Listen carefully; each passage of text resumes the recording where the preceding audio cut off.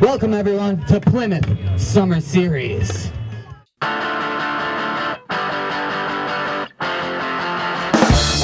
Molly said she ought to leave ya, ought to leave ya,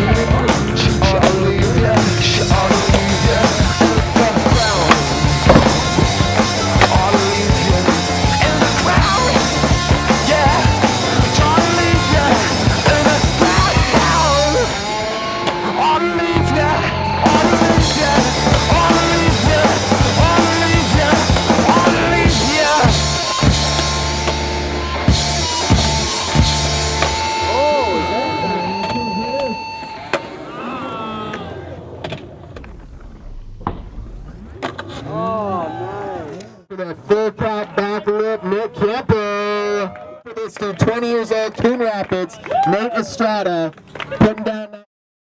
Plymouth Plaza needs a new skate obstacle because I come here every day.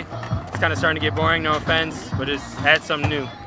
The skate park needs a new obstacle, something new to skate. Have fun.